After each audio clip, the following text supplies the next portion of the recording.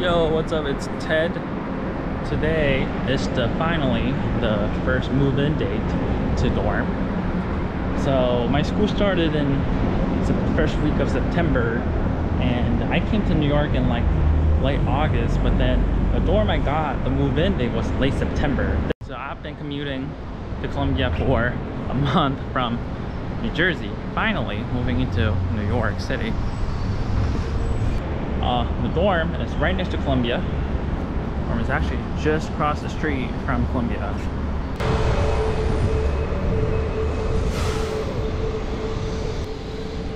Kind of excited.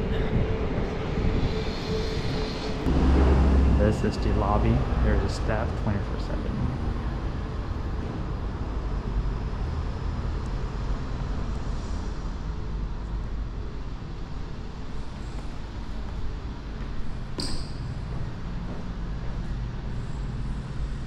There are two elevators. It is a 10 story building. So we need two elevators. That's really good. We have a lot of elevators.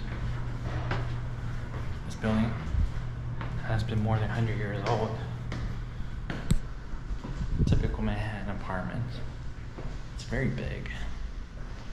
The building itself.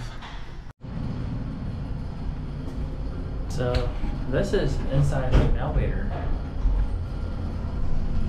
Really antique, nice. So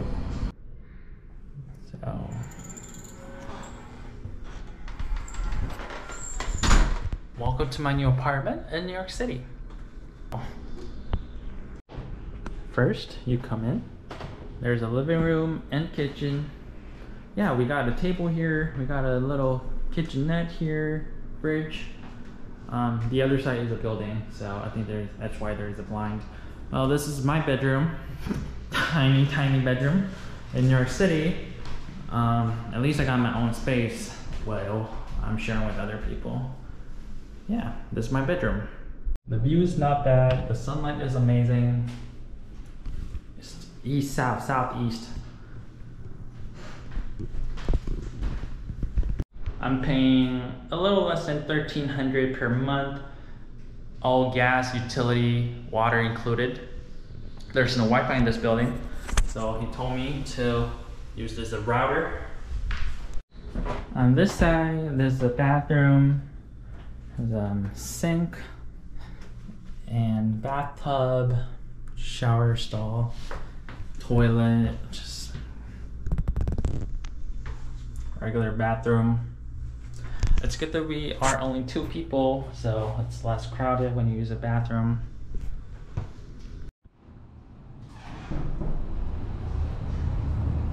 This is the rooftop.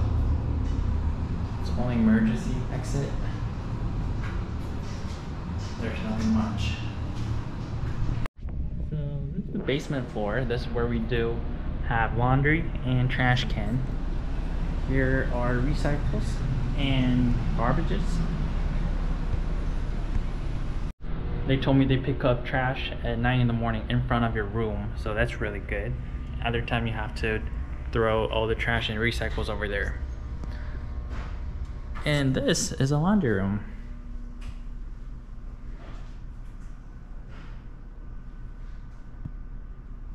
Very neat, very nice. Each washer is 225 and each dryer is 225 so total 450 per laundry. If you do like two laundries per week that's like $10 per week. Yikes. How can you even live in new york city? But the good thing uh, the staff is here 24 7 so if the washers or dryers are broken they can fix them really nice well, this is the first day I'm going to school from my apartment. Honestly, the best thing about this apartment, it is literally right across Columbia. Literally 30 seconds to the school. Love this. So, yeah, that was it for my apartment tour. Thanks for watching. Please like and subscribe my channel.